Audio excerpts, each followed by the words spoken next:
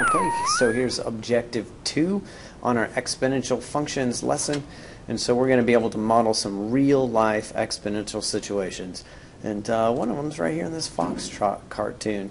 So I'm not going to, you know, read the whole thing. I'd, I'd really like to have time to act the thing out. Maybe meet a partner, something like that. Uh, but, you know, this thing's already so long as it is. Anyway, so here's the gist of it. So this math teacher, math teacher decides, okay, so the, the first week of school I'm going to assign one second of homework. On the second week, I'm going to double that, make that two seconds of homework. And then uh, the third week, I'm going to double that again. Now you have four seconds of, of homework, and you keep doubling it until the end of the school year, and the school year lasts for 36 weeks. Is that something that you would agree to? And of course, you're going, one second of homework? Yeah, sign me up. All right, so uh, you do the math and you see if that thing, uh, that would pay off for you. Okay, so uh, for that kind of situation, in that Foxtrot cartoon.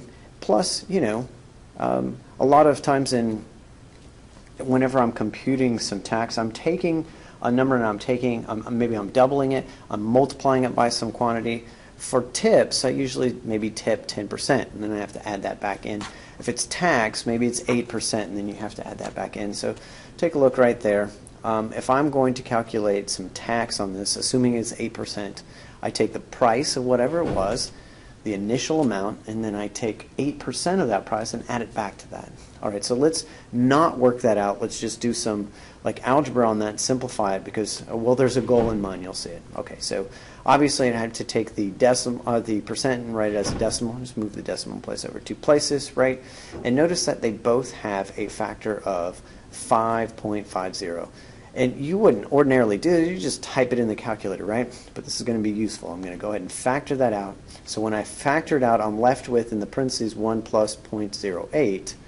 And then, of course, you would add those things up. So you have 5.50, which is what you, the original price, and then in parentheses, uh, multiplying times 1.08. Basically, it's 108% of your, your price. Okay, so what that does is that it, it takes a price, calculates the tip, and adds it back in all at the same time. So let's look at this in general then. So if you have an initial amount of A and you're multiplying it times some percent and then you add it back in, well, they have a common factor of A and then you factor that out and you have 1 plus R in the parentheses. So A is the original amount in both in these cases. So 550 over here and A in general over here. And then what's left behind is 1 plus the rate. Okay, so in purple, over there on the left-hand side, 1 plus the rate is 1.08. And then in uh, general, 1 plus R.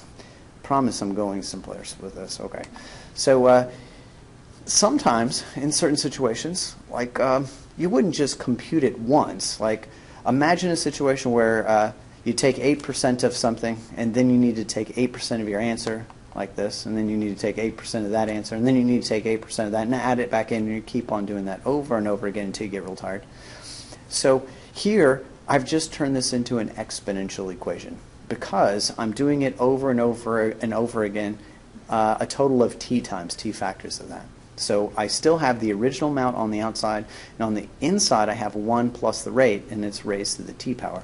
So this is like your base. The thing that's in the purple is like your b value for your function. And notice that it is bigger than 1. Since it's bigger than 1, this must be a growth function. It's exponential growth. So let's look at the, uh, the opposite side of that. Like a discount. I go to the store, something's on sale, it's 10% off. Okay. So uh, I start off at 550 and I'm going to take 10% off of that. I'm going to subtract that off of the original price.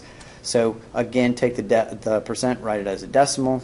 They both have a factor of 550 there, so I'd factor it out. And then in parentheses, I'm left with 1 minus the rate. So uh, subtract that and get 0.9. So does this make sense? Like if it's 10% off, then what I have to pay is 90% of the price, right? That should make sense. Okay, so here it is in general.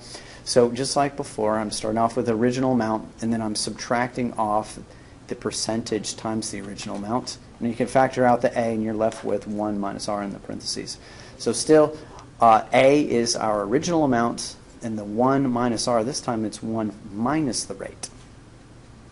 Okay, so think of something that's getting smaller here. So, for example, maybe I'm taking 10% away. I just keep taking 10% away. Just keep taking 10% away. So I'd have that times 0.9 times 0.9. I just keep taking away 10% every single time until I run out of room on my slide. And uh, now you can see that this is also an exponential equation, depending on how many times you do it with that raise to the t power. Original amount still right out here up front, $5.50. Now this time with this exponential equation, the b value, the thing that's in green is 0.9, which is smaller than 1. So this is getting smaller and smaller and smaller, and this is an example of exponential decay. All right, so let's put both of these things together, and you have an exponential growth model or a decay model. So this is a real life situation where you're modeling something that's getting bigger and bigger and bigger, like it doubles or it triples or maybe it's just growing by 5% every single year, something like that. Um, so that's the one that's in purple there. What's in parentheses 1 plus r is your growth rate. It's like the base of your exponential. Whatever that number is, that number is always going to be bigger than 1. Okay. R, it's a percent. It's given to you as a percent, but of course you write it as a decimal. And then over here on the green side, if it's a decay function, it's getting smaller and smaller and smaller. That thing that's in parentheses 1 minus r, that's your decay factor. That number is always going to be between 0 and 1. And so it's going to get smaller and smaller and smaller.